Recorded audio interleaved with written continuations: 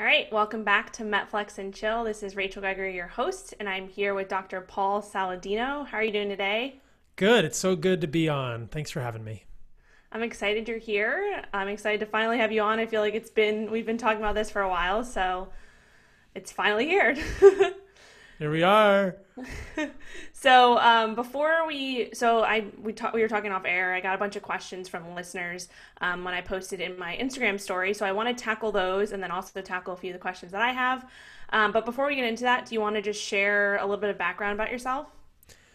Yeah, I mean this is uh this is probably the hardest question I'll get in the podcast. Uh, how do you self-describe? Um, I was on another podcast recently and asked about my background, and I said I'm basically someone that loves to be in the mountains. Uh, I like to surf. Uh, who accidentally went to medical school twice.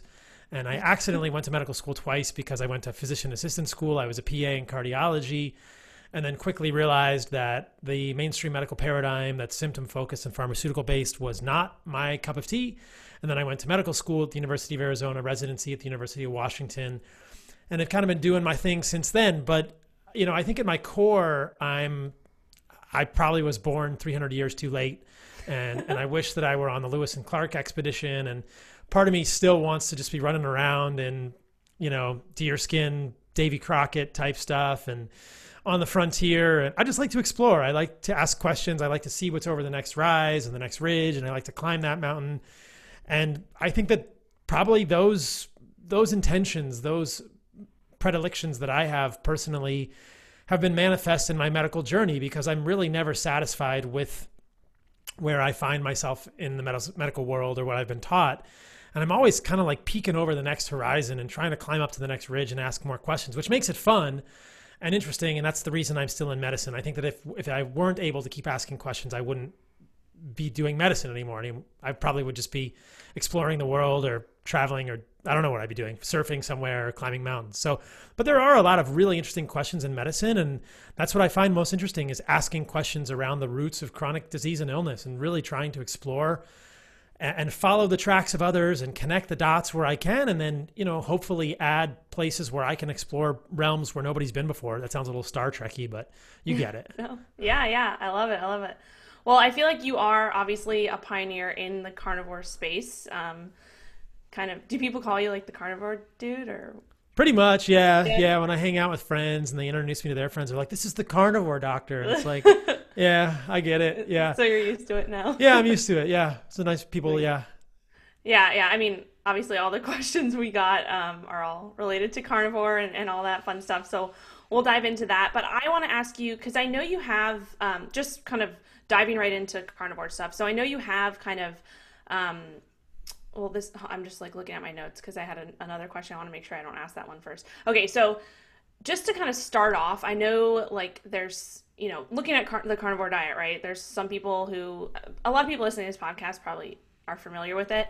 Um, but can you kind of take us through your? I know you have like your five tiers of how to um, approach a carnivore diet, like f- one through five, kind of good, better, best. Can you bring us through? Like, I know I don't want to take the whole podcast to go through this. Just maybe just like start us off with a brief, kind of like five minute summary of those, just so everybody's on the same page.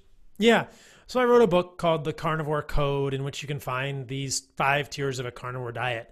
And I've been doing an, an what I'll call a carnivore diet, animal based diet for over two years now with essentially no no plant foods and it was born out of my own eczema and asthma which were my autoimmune conditions that got a lot better when I completely cut out plants. I also found other benefits, psychological benefits, more mental clarity, emotional poise, those kinds of things. And so for the last 2 plus years I've been kind of researching it and thinking about these things and asking these questions and exploring these these quote unquote trails and these unexplored lands of, of what happens if you just eat a whole bunch of animal meat and organs and, and animal fat and bone broth and and and I've come to the point where I like to think about it more broadly now. And, I, I, the term I actually prefer now is animal based diets because there's this idea of plant based diets, and most people understand oh, plant based diets are mostly plants and maybe a little bit of animals. But plant based diets say plants are the best foods for humans. That's where we should get most of our nutrients. Animal foods aren't so good for you. And I am going to boldly, on the Star Trek line, uh, take the completely opposite stance. I'm going to go 180 degrees from plant based diets and say, actually, I completely disagree with that. animal foods, eaten nose to tail, eating all the organs in addition to the meat, are definitely the most nutrient dense, the most nutrient rich, the most bioavailable sources of unique nutrients for humans. And if you want to eat some small amount of plants, you can do that. Just understand that plants exist on a toxicity spectrum and you don't want to make them the majority of your diet, especially if you're not thriving. And people can kind of move that lever however they want. I, have realized very quickly in this realm that just to tell people, hey, you should stop eating all plants doesn't work for 99% of the population. There are some diehards out there, myself included, who will be fine eating just meat and organs and animal fat with occasional carbohydrates here and there. But I think for most people, if my goal is to help them with their autoimmune disease or their psychiatric illness, which is probably autoimmune in nature anyway, or their you know their their eczema, their psoriasis, autoimmune conditions, or you know body composition, fertility, all these things, I want to try and help distill the ideas down into the most effective ideas that are appreciable that are reachable for the largest number of people. And in my mind that's like an animal based diet. That's an animal based diet. It doesn't have zero plants but it starts to think about what the most toxic plants are and eliminate those. What the least toxic plants are and say okay these are the plants you can eat if you want to eat plants. These are the plants that might be more evolutionarily consistent. And that's a tier 1 carnivore diet. That's essentially a carnivore-ish diet. Is like an animal based diet and when you, that's a great place to start. So the basis of all of, I think, human eating of animals over the last two to four million years has been nose to tail meat and organs. It's important not to avoid liver and heart. And if you can get spleen and pancreas and other organs, that's great. If you don't want to eat those, things like desiccated organs, like we make in Heart & Soil, are fantastic as well. And we can talk about that more later. But I think most people understand that. It's well raised animal meat preferably grass fed, grass finished beef. I'm a big fan of red meat. We can talk about why later. And organs as the centerpiece of your diet. And then the least toxic foods, I believe, are fruit. And that's that's pretty intuitive for most people as long as they're not worried about kind of this mainstream demonization of fructose and things like that. So seasonally, our ancestors ate fruit and they ate honey seasonally. They didn't eat it all year round. They didn't eat it in copious quantities, but they ate it when it was available. And so, you know, if you're hiking in the woods, I was just in Montana uh, you know, climbing some mountains, getting out of Texas for a little bit. And there were a couple huckleberries, and I grabbed them off the bush, and they were delicious. And there were some thimbleberries, which is a kind of looks like a cross between a raspberry and a maybe a, a blackberry, and that those are delicious too. And I, they're very bright. I'm sure that our ancestors have been eating them, and that fruit is a part of every indigenous culture out there when it's available seasonally. Mm. So those are probably less toxic. And when you think about it from the perspective of a plant, a plant is trying to get an animal to eat their fruit. They're not going to fill it with toxins. But a plant doesn't want its seeds to get eaten quite in the same way. And seeds, really broadly, is grains, nuts, legumes, and seeds. So that's a pretty important part of the other end of the plant toxicity spectrum, the most toxic parts of the plants. Plants don't also really want their leaves to get eaten or their stems. And the roots, a lot of times, are defended too. Perhaps less so because they're below ground. They have a little bit of defense there. But stems and leaves and seeds, highly defended parts of plants.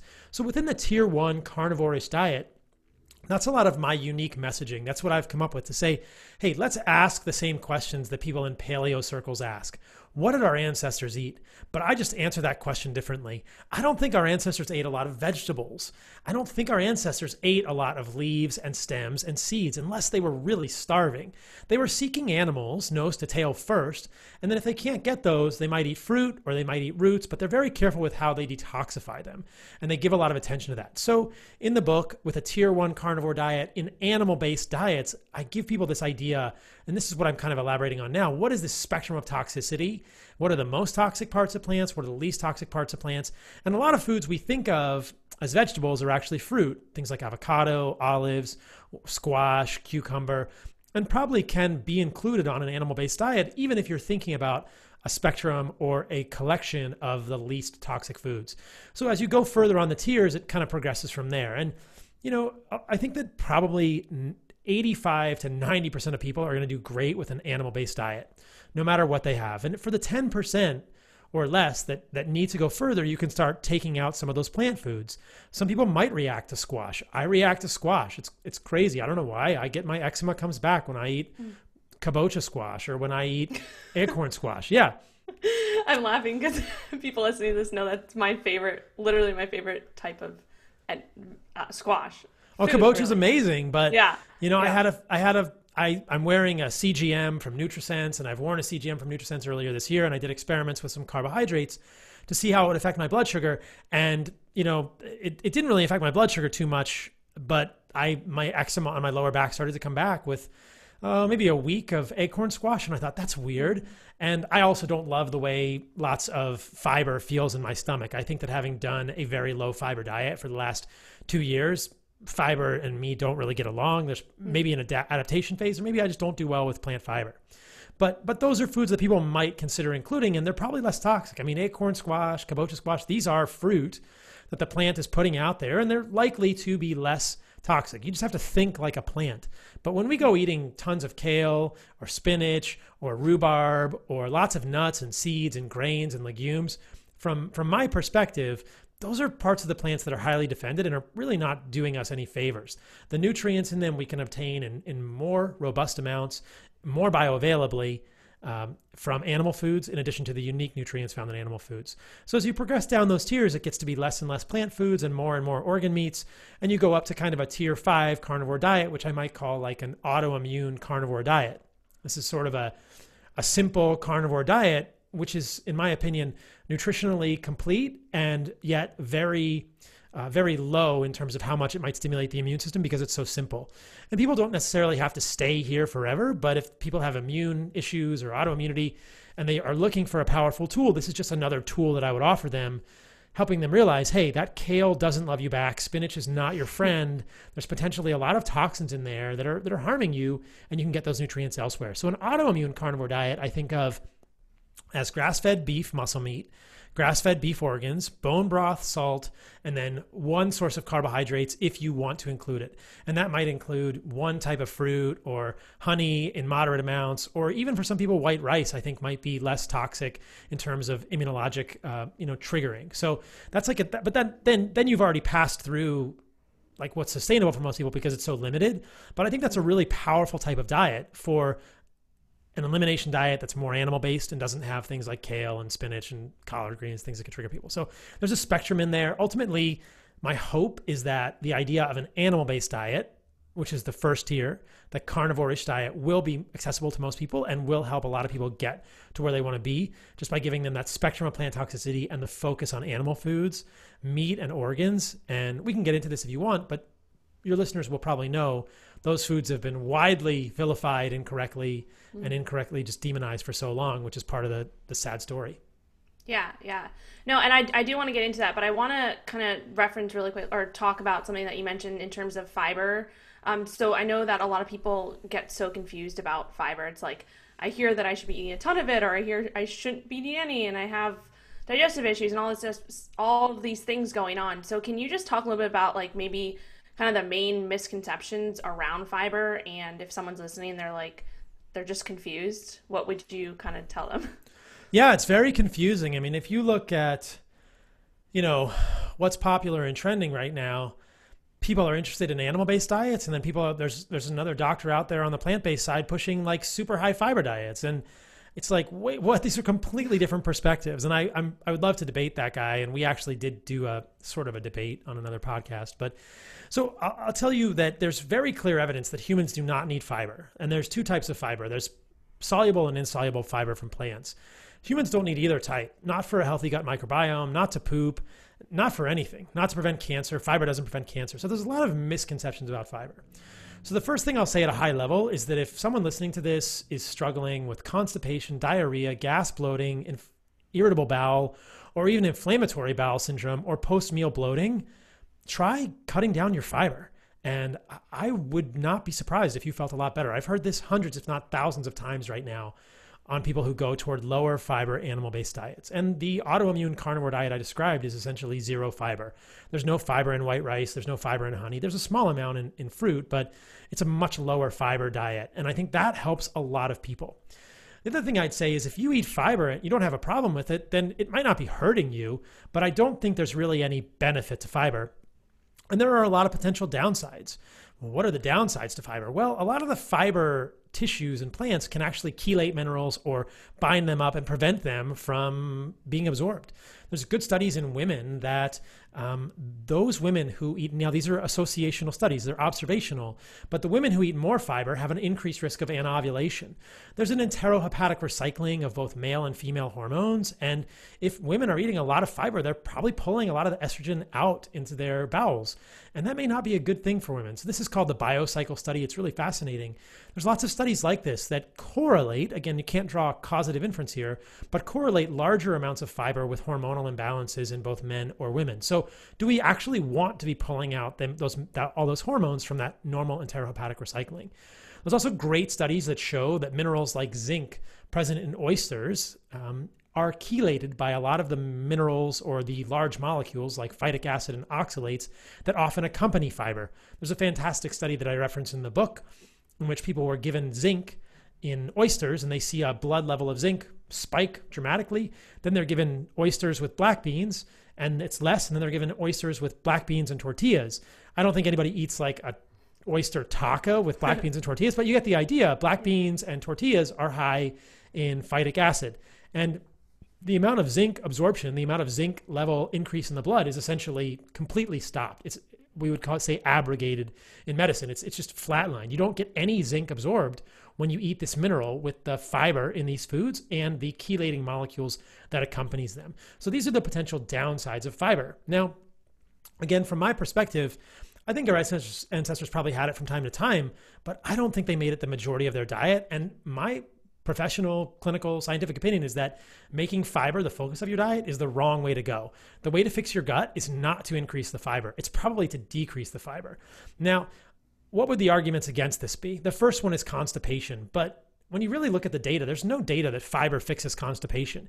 It may give you bigger poops, but it doesn't make pooping easier for people that struggle with it. And there's lots of data about this. It doesn't make you use lax, laxatives less doesn't make it less painful doesn't you know decrease bleeding but it will make the poops bigger which can actually make them more painful i and now hundreds of thousands of other people hundreds or thousands of other people can attest to the fact that it's easy to poop every day without fiber in your diet and there's a great study from the World Journal of Gastroenterology in 2012 that shows that in a group of people with idiopathic constipation, the removal of fiber, the complete removal of fiber, led to the best outcome. And that was 100% resolution of gas bloating and constipation. That's the complete removal of fiber. The other the other critics or the other criticisms of low fiber diets are that what about the microbiome? Doesn't our microbiome need fiber? And the answer is it doesn't.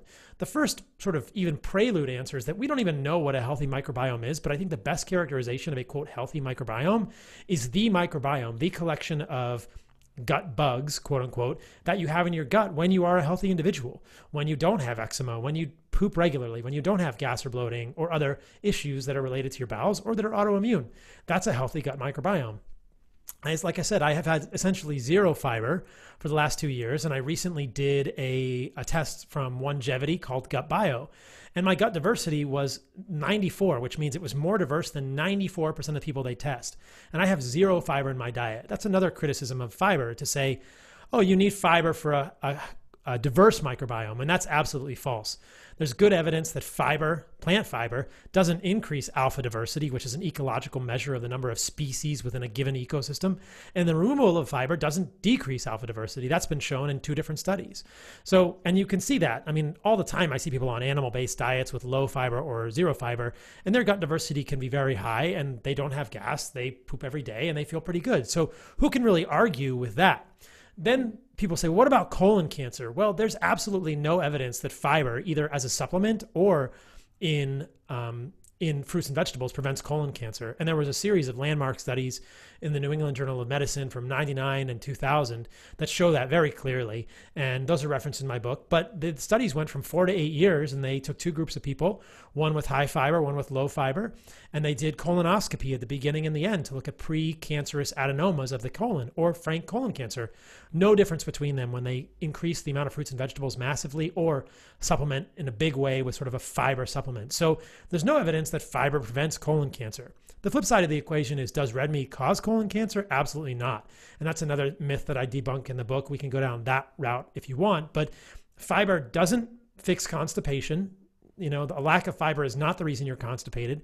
Fiber doesn't increase alpha diversity. We don't need fiber for a quote healthy microbiome. Fiber doesn't prevent cancer. Fiber doesn't prevent diverticulosis. Like, why do we eat fiber in the first place? If it comes in the foods we eat, then great. If you don't have a problem with it. But for a lot of people who still struggle with GI issues, I just want them to know there's really no good evidence that fiber is that beneficial for humans. For some people, it's benign and they don't have a problem with it. And in that case, great. That's where the animal based perspective comes in. If you're eating the less toxic plant foods and you're thriving, don't change anything. I'm just offering tools for people who are looking for new avenues because there's a lot of people out there that are still suffering and they've done it all. They've done AIP and paleo and, you know, they've counted their macros and they tried vegan diets and they feel worse. And it's like, yeah, I think that there's a lot of these questions that haven't been answered because we're stuck in this sort of dogmatic thinking. Any other questions about fiber you think your listeners would, would want to know? Did that cover most of it? I think you covered it all. I just okay. I was just like standing there like trying to absorb it all. I'm gonna have to go back and listen to this again.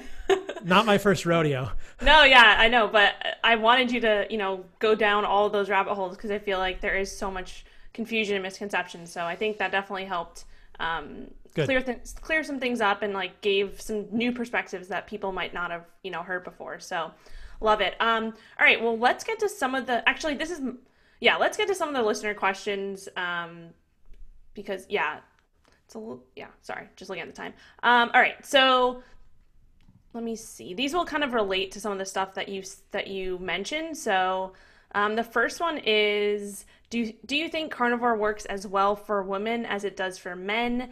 Can it cause hormone issues? So that's kind of like a two part question.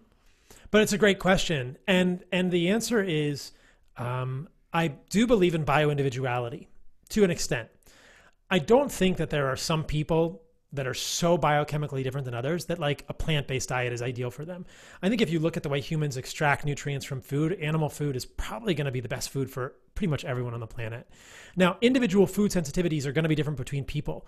And I think that women and men are different in terms of their hormonal cycles. And I as I've gone through this process, again, I have man parts, uh, but I I know women physicians and I know women. I've talked to a lot of women. I have women clients, and um, so the best that I can say is that I think that for women, some sort of carbohydrate cycling is probably better than straight low carb, completely meat and organs all the time. And I think most of your the women that you work with or know will agree with that. And maybe you've experienced that in your own life too. Though I believe that low carbohydrate diets can be very helpful for people with underlying metabolic dysfunction like diabetes, I think some cycling to that is also very reasonable. And so I think that if women are doing a carnivore diet, absolutely. That's why I started with this idea of an animal based diet. I have no problem with people having carbohydrates in their diet and breaking from what I saw as an overly dogmatic set of um, thinking within the carnivore community, I've defended carbohydrates recently, you know, and taken a lot of flack for it, which is fine with me because I have a lot of podcasts and literature on in my show, which is fundamental health, talking about carbohydrates are not the problem for people. If you are diabetic, yeah, there is carbohydrate intolerance and you're going to need to remove carbohydrates at least temporarily. But I don't think carbohydrates cause metabolic dysfunction in otherwise healthy individuals. I've shown it in myself, I've seen it over and over in my clients, both men and women, and there are lots of examples of indigenous people, the Tukisenta, the um, the Hadza, uh, the Kitavans, who do eat carbohydrates and remain very healthy from a cardiovascular metabolic perspective. Carbohydrates that are not processed do not cause problems for humans if you are metabolically healthy. Again, the caveat is if you're diabetic, you may need to remove them for the short term or the you know the moderate term. But I do think that if women want to do an animal-based diet, don't be afraid to include carbohydrates on a cyclic perspective.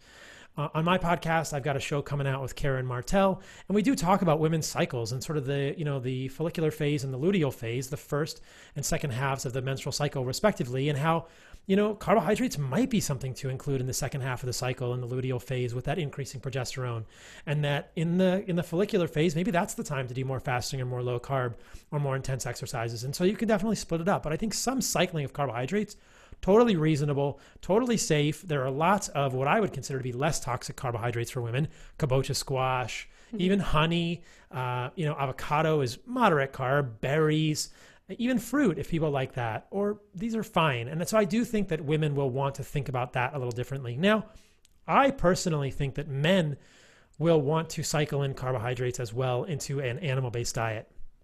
And again, I think that the carnivore community just lost its mind when I said, "Hey, I've started doing that with honey, and I wore a CGM, and it doesn't look that bad, and and I feel pretty good with this, and maybe we don't need to be so dogmatic." And anyway, what has ensued is me defending honey, and we can talk about that as well. But i got like ten questions about about that. about honey, that's hilarious. Yeah, well, well I'm, ten of the same questions, which I'll ask you next. So okay, yeah. so, but you know, in, in my own life, what I found after a year and a half of strict quote keto, low carb, animal meat and organs was I felt pretty good, but I still would get muscle cramps when I would like climb and have to like point my foot to get on a hold that was precise. And you know, I was living in San Diego, and sometimes I'd just be like, I just feel a little cold. I could tell like my thyroid wasn't fully ramped up. And it's good for us to go through those periods of low carb from time to time. It's good for us to fast from time to time, whether it's intermittent fasting, whatever. But I realized that I bet it's better to cycle. I think our ancestors would have cycled. I don't think they were eating leafy greens and kale and lots of legumes, but I do think they were swiping berries off the bush. And if they could find honey, they were eating it. And in the winter, they were probably eating squash. And so there's even some seasonality in terms of what carbohydrates you use at different times of the year if we really want to mimic those things. But I like the idea of for women saying, yeah, if you want to cycle carbohydrates, do it. Just know which ones to cycle. Obviously, white bread is not my first choice because of gluten, and probably not your first choice either. Yeah. But but I think that they should think about that. I also think men will probably feel better if they cycle in carbohydrates. Not every day, but if you want to do it occasionally, you you probably could even do it most days of the week, seasonally. Um, based on based on you know performance goals based on lifting or athletic goals you can cycle them that way. And the variety of carbohydrates is pretty big and we get into that. So that's my long-winded answer to your mm-hmm. question. I'm not going to make it easy for you because i like to talk so I saw no no i love it. Keep talking. But i love i love your kind of perspective on uh, perspective on all of that too because obviously this show is called metflex and chill right? So i'm all about metabolic flexibility and it's just you know my kind of history of being in the low carb keto space for the last five to six years, I've gone through like strict keto, this is the way to go, and then, you know, maybe not, maybe I should be so dogmatic. And I've kind of gotten to this realization that um, with a lot of people that I work with, um, who may, might not be suffering from these autoimmune issues, um, but have gone through periods of, you know, very long term keto and may have, you know, wanted to start incorporating carbs and they don't know how because they've gotten so carb phobic. And so I've kind of come to this realization over the past few years that um, I want to, you know, teach people more about the concept of metabolic flexibility and not having to be so far on one side of each spectrum that you can, you know, live in the middle and have a lot of benefits from that. So my kind of question for you is, what is your view on metabolic flexibility, especially when it comes to someone who may be following a carnivore diet for a very long time and maybe have become um, a little bit inflexible? Do you have any views on that? Yeah, I mean, this gets into a little bit of biochemistry, but I, I have seen it happen. Um, I I see this in my clients, and everybody's a little different. But long term low carbohydrate diets, we start to see that fasting glucose kind of creep up. 95, 100, 105, etc. And there are those in the carnivore community who are dogmatic and they have openly shared that their fasting glucose is 126. Mm-hmm. And you know, I've seen CGMs from people, continuous glucose monitors from people who have a, a, fasting glucose of 120 and basically a baseline glucose between 110 and 120 all day from long term ketogenic diets. So that is essentially what I would call extreme physiologic insulin resistance. And we don't have to get into the details of all that biochemistry, but that is metabolic inflexibility. Your your muscles, your most of your whole body is refusing glucose extremely. And, and I think that is that is the opposite of what we want. I don't think that's good. Those people will also see a hemoglobin A1C that's often above six, suggesting there is increased glycation. And we know that glycation is probably not a good thing. I would not be happy with a hemoglobin A1C that's above five.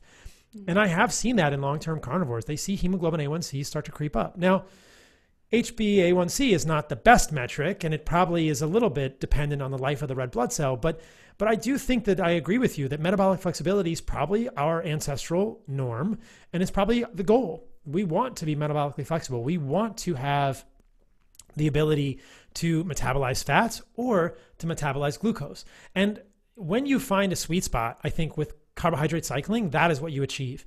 It takes a while for you to become metabolically inflexible, and it also takes a while for you to become you know, fat adapted if you've never gone through mm-hmm. a period without carbohydrates in your diet in massive amounts. And so I think that the the interesting thing about the ketogenic movement, the low carb movement, was that it taught people, hey, you need to be fat adapted. Most people are metabolically inflexible because they can only run on glucose.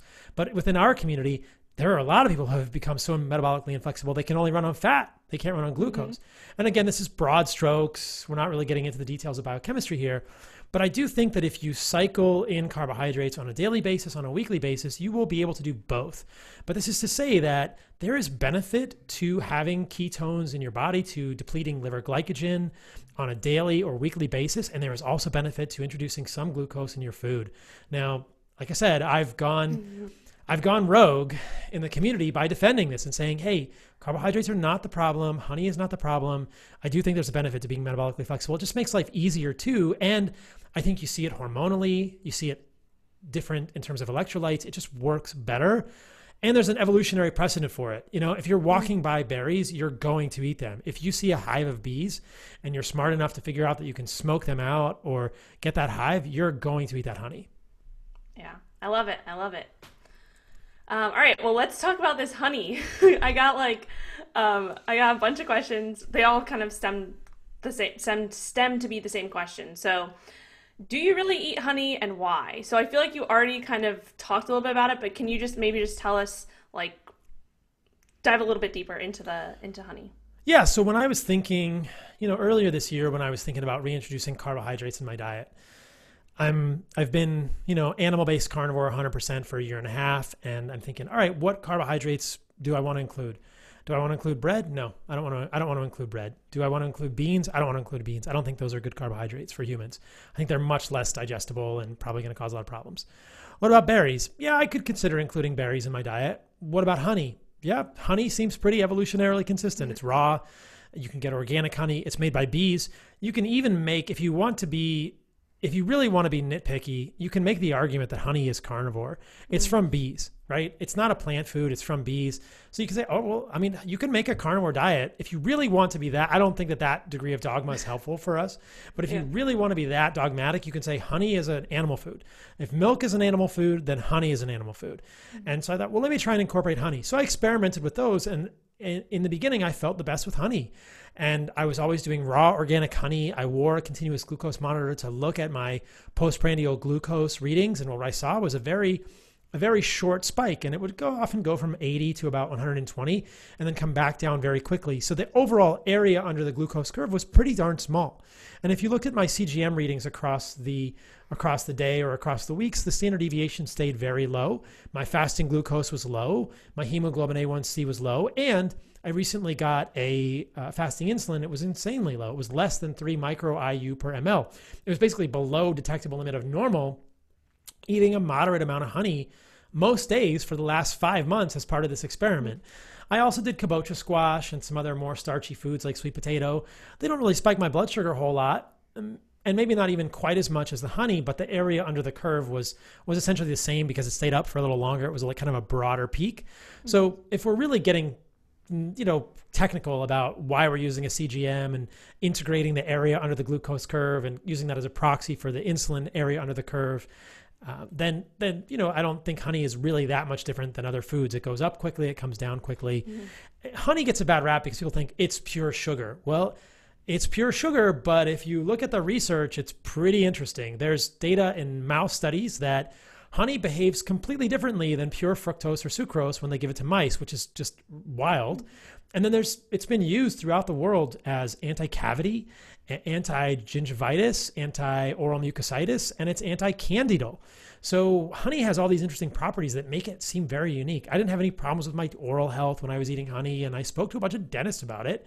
And some of them saved, sent me the articles, said, "Hey, yeah, honey's." Been, I mean, people know that honey's been used on wounds. Mm-hmm. In you know, in my residency, we would use Medihoney. Like in the hospital, they will sell you a tube of honey like this big for thirty dollars, and it's it's Medihoney, and it's actual just honey that is you know made it to a pharmaceutical grade, and they put it on wounds and it's mm. antibacterial. And so honey is a unique food. It has all these chemicals. We don't know what they do, but it's definitely something our ancestors would have eaten.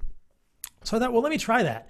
And I think because I don't like fiber, it felt really good to me. It was easy to eat. It was an interesting, different flavor. My blood glucose stayed good. My fasting insulin stayed good. Nothing went you know, nothing went mm-hmm. really negative. I think my triglycerides went up a little higher on honey because of the amount of fructose than they would with a glucose based carbohydrate. And I've experimented more with some glucose based carbohydrates.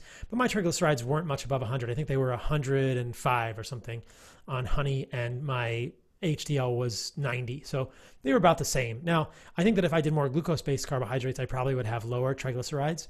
And I don't think that's an indication of metabolic unhealth because my fasting insulin was quite low. So, anyway, you get the idea. But because of the way that fructose goes through glycolysis and can be an intermediate for the formation of glycerol and triglyceride backbone, if you increase fructose in your diet, you'll probably bump your triglycerides a bit. But I think if they're within normal levels, maybe not a big thing. There's not good data that that's a bad thing. Anyway, so that was why I liked honey. It was just easy, no fiber. It felt clean. I felt good mm-hmm. with it.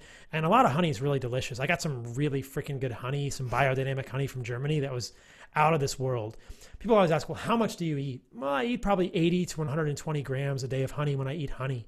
But I don't even eat honey every day anymore. I've experimented with some other carbohydrates. Mm-hmm. Like I said, if there's berries around, I might eat some berries if I'm on the trail.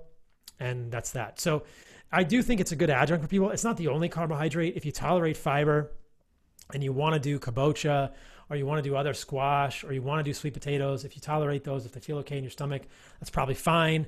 You can i think even we could even be completely um, controversial and say that maybe white rice is even okay you know that's been dehulled. It's basically pure glucose as a you know as a polymer called amylose it digests more slowly and it doesn't i don't think it's problematic for humans either you don't want to overconsume it there's not a lot of micronutrients in there mm-hmm. but if you just want that macronutrient i do think it's beneficial for people to have carbohydrates in their diet so but i find honey to be a great adjunct for people if they want it from time to time and the, the one last thing i'll say about honey is some of the criticism i've gotten about honey uh, in the online community has been that there's a study out there of Hadza hunter gatherers showing that the Bushmen who eat more honey have more cavities. Well, when you take that in light of all the other studies I mentioned that show that it has antibacterial effects, the the rest of that Hadza study is relevant. And what these people who are criticizing me with that study are leaving out is if you read the next sentence of the study, they say the oral decay in these people could also be due to the fact that the Bushmen smoke more tobacco and marijuana. And we know very clearly that tobacco smoking is highly associated with decreased health of your uh, teeth and gums and all these yeah. kind, of, kind of things. So, is the honey causing the problem, or is it the fact that the Bushmen who eat more honey also smoke cigarettes? This has been my sort of um, frustration in the last few months as I've broken from dogma is that the people in many people in the community who criticize vegans for making broad sweeping statements or using associations to draw causative inference are doing the same thing when they're criticizing me saying well look the Hadza hunter gatherers poor bushmen are eating more honey therefore it's causing cavities. And it's like well it could also be the smoking you know it could also be the marijuana. Yeah all these kind of things. So anyway it's just it's very yeah. ironic how how how tribal and dogmatic people get. But that's that's the honey piece, and I think it's it's a piece for people if they want it. Mm-hmm. You don't have to use it. Um, and I'm definitely not paid by the honey board. I wish there were. I wish there were a honey board. I mean, I couldn't believe it. Somebody online tried to tried to make this like subtle, not so subtle reference that I was somehow getting paid to promote oh honey, God. which is which is I, I, it's the most absurd thing ever. So um, I wish, like, I, I, wish somebody would pay me to promote yeah. honey, and and that that I mean that's a very healthy food for humans. Like that's a great yeah. thing. But if anybody's listening to this from the honey board, I'll I'll uh, I'm I'm open to talk about promoting honey, but it doesn't it hasn't happened yet. It's so silly. That's awesome. That's awesome. I think especially if someone is following like a long term carnivore diet and they want to start incorporating more um, like carbs, especially around workouts, I think honey would probably be a really good choice just based off everything you said. So love it. And there's other ones too. Like I said, mm-hmm. you know, there's lots of options there. Yeah, for sure. Okay. Um, a few more questions. So I want to kind of. I'm. Oh, actually, I have a funny one for you. Okay. Why does your name start with salad if you're a carnivore? well, you know, we don't get to pick our names. Yeah. So, um, but you know, my this comes up a lot, um, and and I've had some clever friends who have said, if you actually look at my name, it is salad, comma I question mark no exclamation point. So the mm-hmm. answer is in my name, salad. I no. Oh, there we go. Or, I didn't that part. right? Or um, because it's salad saladino or it also has dinosaur in the name and of mm. course the dinosaur that i would select would be some sort of carnivorous flesh eating dinosaur. So you can think about however you want. But it is kind of a funny thing.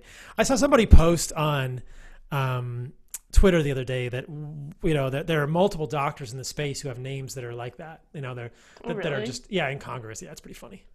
Huh. Interesting. Yeah, I saw that one. I was like, oh, I didn't even think about that. Yeah. Um, all right, so back to back to some other questions. So, what are your thoughts on pork rinds health wise? So I'm not a huge fan of pork, and I'll tell you why. And this kind of relates back to a really important piece, which is what is causing diabetes? What is causing obesity? What is causing metabolic dysfunction? This has been my fascination for the last few months. And a lot of people, if they're asking questions, they've probably heard me talking about linoleic acid, polyunsaturated fats, which are often abbreviated PUFAs. Um, but that's what we're talking about is polyunsaturated fatty acids like linoleic acid or others that have multiple double bonds. But when you think about pork in general, and again, I've taken more flack from the carnivore community um, willingly and gladly for this, but pork and chicken are not fed species appropriate diets, generally speaking. They're fed corn and soy. And if you look at this, there's very good evidence that that enriches their fatty tissues with linoleic acid. Monogastric animals like chicken and pork can't convert linoleic acid to saturated fat like ruminants can. I definitely think ruminants should be grass fed and grass finished if we can find that and afford it. But my fear for people, even within animal based diets, is that they can get too much linoleic acid, which will impair health goals like weight loss because they're eating a lot of chicken fat or pork fat. Now, pork rinds are pork skin, so it's probably less of the fat in the pork rind, but it's also deep fried.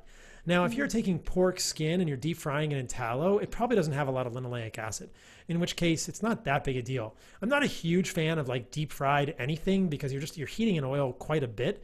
It's going to have lipid peroxides. There's going to be less, but it's not my favorite thing. Now, if people need something with a crunch, maybe it's okay, but I would really caution against making bacon and bacon fat, that pork fat that is high in linoleic acid, or chicken fats a significant part of your diet if your goals are weight loss. And the mm. reason it happens is this, and this gets really technical, and we'll probably not do it on this podcast, but if people are interested, they can check out the podcasts I've done over at my podcast, Fundamental Health, or at heartandsoil.co, which is my website. All the videos are up there um, you can find me talking about linoleic acid and why it makes you fat. But at a cellular level, there's some really fascinating data that this polyunsaturated fat keeps the adipocytes open to the signaling of insulin.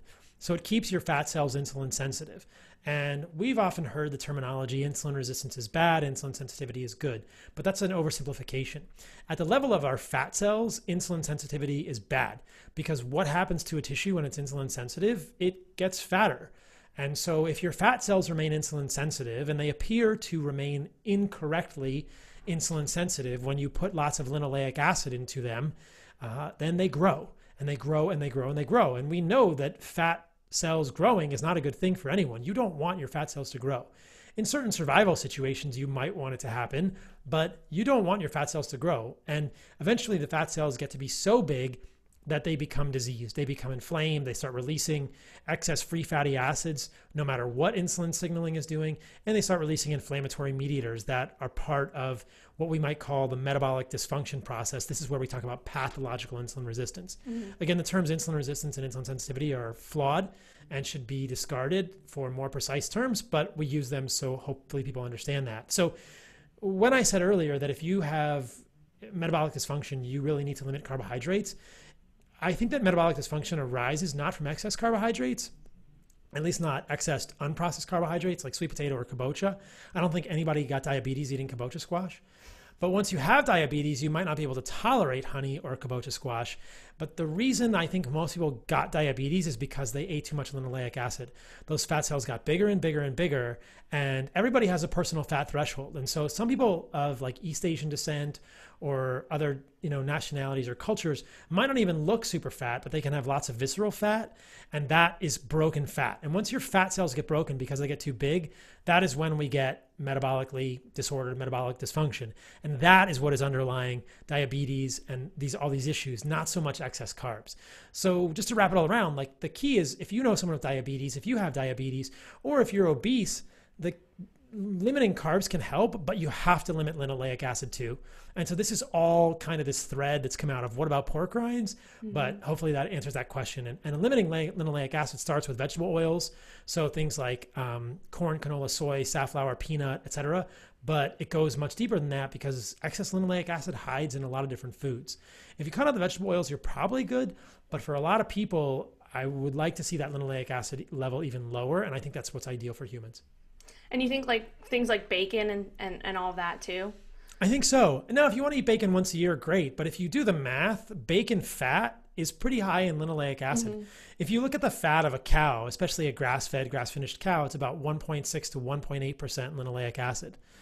Pork fat is about 15 to 20% linoleic acid. So you've 10x the amount of linoleic acid. Now, canola oil is 50% linoleic acid or 40, you know, yeah. depending on the type of canola oil. Safflower is really high, soybean oil is really high, some canola oils are lower. But basically, you know, you're if you're think about how much vegetable oil someone eats, think about how much bacon fat someone eats. People like save bacon fat in ramekins now and mm-hmm. will use 5 to 6 tablespoons of it per day. Like you're getting a lot of linoleic acid in that bacon fat. Now, everybody loves bacon, but I'm just I'm giving them a tool to mm-hmm. say, hey, if you're not at the body composition you want to be, decrease linoleic acid in all the sources. And I've seen this. I've one of the I think one of the most interesting questions that I see on social media and in general is I'm at a weight loss stall. What should I do? And there's lots of levers you can pull, right? But one of the levers I haven't heard anybody talking about pulling is decrease linoleic acid, increase stearic acid. And stearic acid is this saturated fat. It's basically the saturated fat equivalent of linoleic acid, meaning they're both 18 carbons. And the biochemistry isn't super important, but at a chemical level, at a biochemical level in our cells, they have completely different effects. And this is so crazy. So, there's a really interesting interventional study in humans where they put them on a low fat vegan diet for two days, and there's essentially no stearic acid on a low fat vegan diet, which is interesting. And then they gave them a banana milkshake with 26 grams of stearic acid. And they did another experiment where they gave them just pure stearic acid. And when you give someone stearic acid, you see the mitochondria turn on, they fuse. And acylcarnitines, which are a measure of fatty acid, fatty acid oxidation, go down. So when you have lower acylcarnitines, you're doing more fatty acid burning, which is beta oxidation, you're burning more fat. So at a high level, you give your body stearic acid, mitochondria turn on, and you burn more fat. That's really cool. And the flip side is also really interesting that if you deprive your body of stearic acid, which is primarily found in animal fats like suet or tallow, um, then your mitochondria are not going to work as well. It's also found in cacao butter, and at Heart and Soil, we're coming out with a supplement called Firestarter that has like high stearic acid in like a tallow in a pill for people that don't just want to spoon fat. So mm-hmm. it's really cool to think stearic acid in animal fat is kind of this evolutionary signal that we can be lean. But linoleic acid, which we would have gotten from nuts and seeds, is kind of this evolutionary signal that winter is coming and you have to put on a little bit of weight. And I think the problem is that in 2020, we are giving our body that constant signal to get fat with linoleic acid every day of the year, every single day of the year. Thousands of years ago, we would never have eaten pigs with 15% linoleic acid in their fat. They had 5% linoleic acid. Yeah. We would never have eaten vegetable oils to this extent. We wouldn't have had any vegetable oils. In the fall or in the winter, we might have eaten a few nuts and seeds, and those have more linoleic acid, and those would probably make us a little fatter, but that's a survival mechanism. And now we're kind of hijacking that, I think. This is kind of all my thinking around linoleic mm-hmm. acid and, and where it's come from evolutionarily. But the key is limit linoleic acid, increase stearic acid. So that's your long answer to poor rinds. no, no, I love it. Well, can we just and can we wrap up that thought? Just so everybody is on the same page. So, what would be like the top five foods high in um, like linoleic, linoleic acid versus stearic acid? So, like the ones that top five you'd want to avoid for linoleic acid, and top five you'd want to start consuming more of for stearic acid. Just so, for some practicality. Yeah, yeah. So, linoleic acid again is found in vegetable oils. So, you want to eliminate vegetable oils religiously. Mm-hmm. Um, and they are found in a lot of foods. You don't want to eat chips cooked in safflower oil, any of that stuff like hummus is always going to have canola or safflower in it. So I don't think hummus is a great thing anyway because it's got legumes. Um, but you know the the vegetable oils are a real problem. And then I think the other foods that are high in linoleic acid are a lot of nuts and seeds, and you can look at individual nuts and seeds. So, like sunflower seeds are high in linoleic acid. That's where we get these things from. Um, mm. Safflower seeds, which nobody eats, but you get it. Sunflower oil, same thing. Peanuts have a decent amount of linoleic acid. I'm not a huge fan of peanuts for a lot of reasons. Mm. And then also, you know, fat from animals fed corn and soy, like chicken and pork, is going to be the major sources of linoleic acid. And you can actually check the linoleic acid in your red blood cells. So I do this with my clients and I've done it with myself. You can look at the percentage of linoleic acid in your red blood cell and mine is now down around 5%, but I've had clients, you know, I looked at a guy's this morning that was 11, 12% linoleic acid. I think that's just hampering progress to have that much linoleic acid. So you can check it. Mm. Stearic acid is in animal fat. So if you're eating ruminant fat from cows, you're getting a lot of stearic acid. That's the key part. And the best place to get stearic acid is tallow, well, I should say suet, which is kidney fat. And the reason we made Firestarter is because kidney fat is very waxy. and a lot of people don't want to eat suet. Like you can get suet from Belcampo or White Oak, and it comes as this block of fat. People are like, "What do I do with this?" So every morning when I eat breakfast, and people are gonna be like, "Oh yeah, I want to eat breakfast with this guy now. He's gross." I have some suet, and I just like I take raw kidney fat, and then I'll just plop it into my bone broth when it's hot, and it gets a little soft, and I, it's good. So it's but suet is about 25% stearic acid. And cacao butter is also high in stearic acid. Now, I'm not talking about chocolate. Mm. I'm talking about cacao butter. If you've ever had cacao butter, it tastes like you're chewing a candle because stearic acid is kind of chewy like that. And so does suet. If you just eat suet cold, it's basically like chewing gum fat. It's not mm. really palatable. But if you drink it with bone broth, you can get it down. Or we encapsulate it into pills just to help people get it. So there's all those options. But I do think it's this really fascinating sort of evolutionary uh, you know convergence to see hey this is found in animal foods and sure if you find a cacao tree you might be able to get some stearic mm-hmm. acid there but i think mostly we would have gotten it from animal foods interesting interesting cool um, okay so i do have a bunch more questions but how much time do you have i don't want to take i'm flexible okay so maybe we'll just do a few more uh, I'm gonna. I was gonna say maybe we can rapid fire these, but I don't think that's gonna be. I'll try. I'll try. we've we've laid the groundwork now. Yeah, we might be yeah. able to do it. Okay, so uh, okay, someone said, "Is fish oil necessary when eating nose to tail?" I guess we can dive into fish a little bit. Yeah, so I'm not an advocate of fish oil, mm-hmm. and full stop. Um, and I did a recent video about this. Fish oil is definitely not necessary when you're eating nose to tail. I don't think anyone should be taking fish oil, cod liver oil, any of that stuff. So again, I'm going to break from the norm here. Do you need omega 3s? Sure. Do you need lots of them? No. And if you don't have a lot of linoleic acid, you can convert a lot of your EPA to DHA and DPA, or you can, can even convert the alpha linolenic acid that's found in animal foods into EPA and DHA. So, I actually, just did a video about that yesterday um, on my social media and on my podcast. Again, all those videos are at heartandsoil.co under the Learn tab. But basically, what I saw in my fatty acid analysis was I don't do any, I haven't done any eggs. I've been kind of experimenting with no eggs just to see if I had any sensitivities to them. And you know, I wanted to see maybe I should be eating eggs seasonally like our ancestors would have because eggs have a moderate amount of linoleic acid. I don't want to break people's brain with that because a lot of people like their eggs. So don't worry about yeah. eggs and linoleic acid. That's the least of your concerns. But I was experimenting with it as I'm forging across the Louisiana Purchase with Lewis and Clark. But the basically the idea there is just that you want to you just want to be careful where you're getting that linoleic acid from and in terms of fish oil if you get lower amounts of linoleic acid you will be able to make alpha linolenic acid into EPA, DHA, and DPA.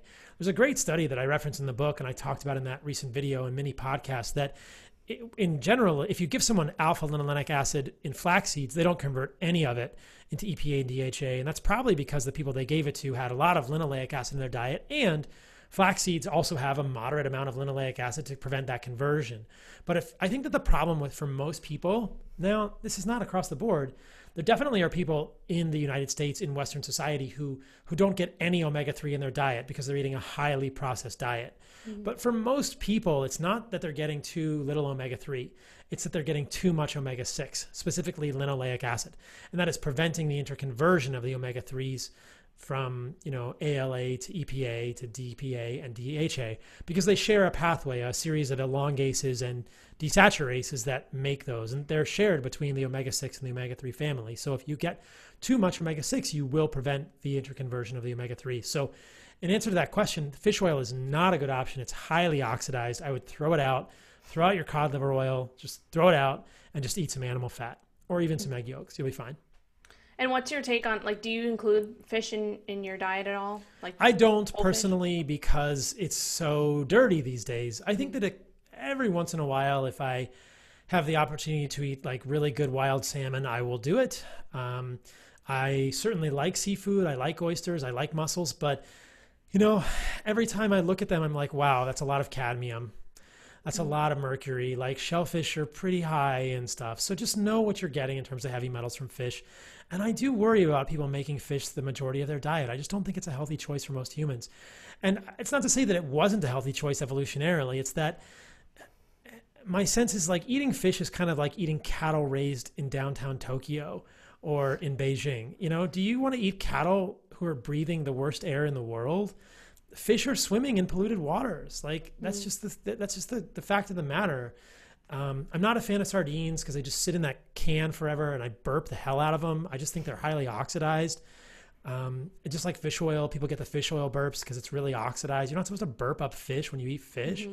I mean, I've had some good salmon in my life, and a good king salmon is pretty hard to pass up. But I don't make it the majority of my diet. I don't even make it a small part of my diet. It's, it's just an occasional here and there. If I were up in British Columbia and I was fishing for for Alaskan or for king salmon, you bet I would eat it. But I, I, I, the other part of this part of this equation is I don't think there's anything in fish you can't get other places, and that's our previous discussion. You can get plenty of omega three from animal fat, suet, mm-hmm. tallow, those kind of things. It'll give you plenty of omega three, especially if you're eating less linoleic acid. And, and my results and the results of others show that very clearly. It's not to say we don't need any, just not that we don't want. We don't need massive amounts of omega 3. Mm-hmm. And while I'm talking about this, just so people don't get confused, linoleic acid is technically considered an essential fatty acid, but it's in food. Like there's a small amount in you know, grass fed beef, you're not going to get deficient in linoleic acid by restricting it. You're not going to get deficient in linoleic acid by eating whole foods. If somebody just ate potatoes, yeah, you could get a linoleic acid deficiency um, along with basically deficiency of every everything everything else. but if you're eating whole animal foods, you won't get deficient in linoleic acid. Normally, you get deficient in the omega 3s. Gotcha. Okay. Makes sense. Um, all right, let's do two more here. Um, I kind of went all over the place, so. Okay. This is a good one. And we kind of talked about this, but someone said loose stools on carnivore. And well, this is kind of another two part, but loose stools on carnivore and how to reintroduce veggies if one doesn't want to be carnivore forever. So that's kind of two different questions. Maybe we can end on that one or those two. Yeah, so a lot of people. So I think that if you transition from high fiber to zero fiber, there's going to be a increased passage of bile salts through the ileocecal valve into the colon, and that's going to cause loose stool. So the answer to that is just add a little bit of fiber back into your diet, and that should bind up the bile salts. And you have to transition. So people get loose stool on carnivore. They just went from too much fiber to too little fiber too quickly, generally speaking. And again, I have no problem with fiber if you tolerate it. Just don't you don't need it. Again, I don't have any fiber. My stools are formed every day. They're they're great. Um, but so that's the answer to that one. And it's okay to add avocado or squash back in if that helps with that diarrhea at the beginning. But if you transition and you go from high fiber to low fiber, you, those bile salts are going to be overproduced, and it's going to take the small intestine a little bit of time to reabsorb them. Okay. And but then you should get to the point. Most people get to the point where they it kind of stops as you adjust to it. To reintroduce veggies, I mean, my my gentle suggestion is maybe don't reintroduce vegetables. Maybe just think about reintroducing the least toxic plant foods. If you really want to reintroduce spinach or kale, just think hard about why you're doing that. Um, I'm, I'm just not sure that they're good for humans, but you could just reintroduce them. I mean, you can do whatever you need to do. Uh, I think that my my simple answer to that question would be reintroduce the foods that are lower on the plant toxicity spectrum. Reintroduce avocado, reintroduce squash. And people might think of those as vegetables, but I think of them as fruit, botanically speaking. So that would be my choice rather than doing veggies. I just don't think that leafy greens and nuts and seeds and grains and legumes form a significant part of the human diet. Um, they're really survival foods. What you what you want to focus on is meat and organs for your nutrition, and then use the plants that are less toxic to fill in for color, variety, texture, and flavor. And if you can't do organs, consider something like the desiccated organs. We make it Heart & Soil, which you know kind of freeze dries all kinds of things into capsules and makes it easier. So hopefully that helps people too. Okay, okay. And I guess I haven't seen this anywhere, but I'm sure you probably have something. Do you have like a, a spectrum or maybe like some type of like infographic that shows the plant toxicity spectrum that you've you've been talking about or anything like that? Yeah, yeah. So that's in the book. So in the carnivore Okay. code, there's that book, but I'll um, I'll pull it up. If you let me screen share, I can screen share it right now. Sure. I don't. So if whoever's listening to this won't see it, but um, we can do it for the YouTubers. I don't know how to screen share. There's like that little button at the bottom that says screen share, and then there's a caret next to it, and you just have to put like allow participants to screen share. Oh, it's letting me do it. Okay. okay. So you see this? So this is from Okay. the book. Um, less toxic, moderate, most toxic. And so the most toxic is nuts, grains, legumes, and seeds, which are all seeds. High oxalate foods, which are a lot of the, um, which are a lot of the leaves. Brassica vegetables, kale, collard, uh, things like that. Lettuce is probably not a great thing for most people. Nightshades, which are tomatoes, eggplant, bell peppers, hot peppers. Tubers are in the middle. Um, sweet fruits in the middle, but probably more this direction over here. And then berries, squash, non-sweet fruits like avocado. So um, really, I'd put the cutoff somewhere like right here. Like I would avoid these foods and consider these as you would, and these are probably better for most people. Make sense? Awesome. Yeah. Yeah. Cool. Yeah. Awesome. All right. Um, I had a few more questions, but maybe we'll save those for a part two. Okay. Um, yeah. so I do want to end on one question that I always ask, um, and I feel like I already know the answer to this, but maybe you have another one that you want to share. Okay. So, what is something that you've changed your mind about in the last year, and why? So yeah, you, you probably do know the answer to this. It's, it would just be cycling ketosis. Um, it's always humbling, but also revealing to think that as truth seekers and scientists, we can say, "Hey, I expanded my perspective on this," right? Or, or even just to say, "Hey, I didn't, I didn't fully, I wasn't thinking about this fully." I mean, I've I went deep into the literature understanding ketones and how valuable ketogenic states were for humans, but I think that in the last year I've just expanded my perspective to think, huh, I'm not sure it's the end all be all. I'm not sure we always need to be in ketosis, and I don't think it's beneficial for people to be in ketosis all the time, and I think that people run into problems and we see that. The cognitive dissonance occurs when we say, hey, but there's people that get benefit. And, and I, you know, there's just a lot of black and white thinking out there. Like, how can someone get benefit if it's not good to do it all the time? And it's like, well, hmm. because a lot of things in life are supposed to be cyclic and kind of balanced. And, you know, evolutionarily, I'm pretty sure there were times we didn't have carbohydrates and we didn't have even food and we were in ketosis. That's not a bad thing. And I think a lot of the work that I did defending ketogenic diets was was great because there are definitely those people in the space who would say ketones are bad for you. And it's like, well, that's mm. crazy too. Like to say that a ketogenic state is harmful to humans is, is silly. There are a lot of things that happen in, when we're in ketosis that are beneficial and all sorts of epigenetic changes and stuff that are beneficial and probably great in small doses. So yeah, that's been an interesting one. I'm trying to think if there's anything else. Yeah, that's probably the biggest one.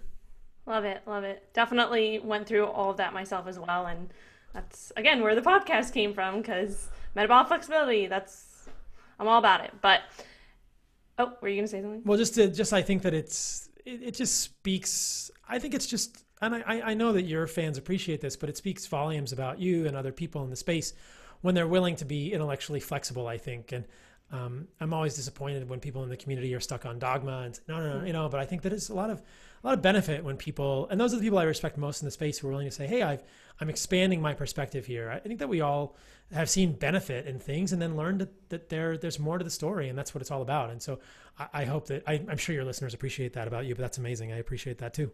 Yeah, yeah, I appreciate you and all of your kind of growth through in, within this industry as well. And it just it's just really fun to kind of you know watch people kind of evolve and also evolve within yourself. But yeah, it's like the health and fitness industry in itself is just still so new and like still there's just so much to learn. And so I think if you if you're in this industry and you and you're dogmatic about things, it's like you're just setting yourself up to not not not be good down the line. I think, but Yeah, and that's because that's you know we've both been through it. So anyway, um, all right. So before we this was awesome. Before we end, do you want to kind of share?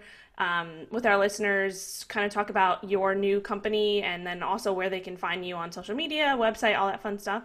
Yeah, so the best place to find me is heartandsoil.co. And it's just, it's been really fun to build this company out of my interest in helping people get good nutrition. I thought about my sister and her kids and my family. They're never going to eat spleen. They're never gonna, they're never going to eat kidney.